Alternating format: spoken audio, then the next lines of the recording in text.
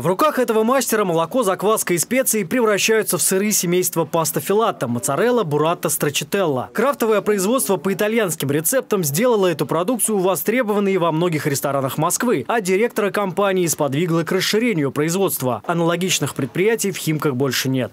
Сейчас в ближайших планах у нас открытие своего небольшого магазина при сыроварне, чтобы покупатель мог видеть как производится этот сыр и покупать непосредственно самый свежий продукт, как говорится, из-под ножа.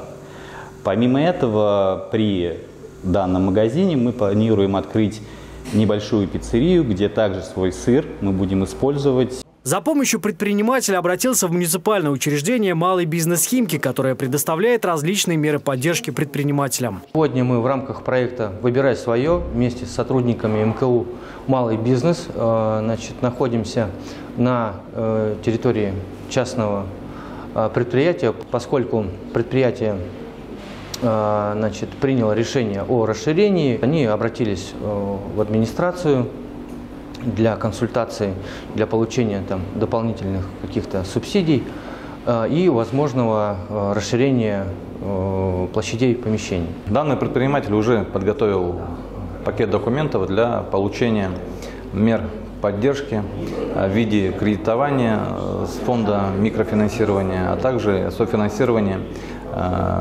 наружной рекламы. Благодаря оказанной помощи предприниматель сможет не только расширить производство, но и обновить помещение, а также получить поддержку в части рекламы. Не первый год э, правительство Московской области проводит беспрецедентную работу по оказанию поддержки малому и среднему предпринимательству. Поддержка предпринимательства – это одна из приоритетных задач, э, от решения которой э, зависит благополучие развития экономики. Добавим, что только в 2023 году более сотни химкинских предпринимателей воспользовались поддержкой от администрации города. Александр Сергеев, Руслан Сафин, Новости Химки ТВ.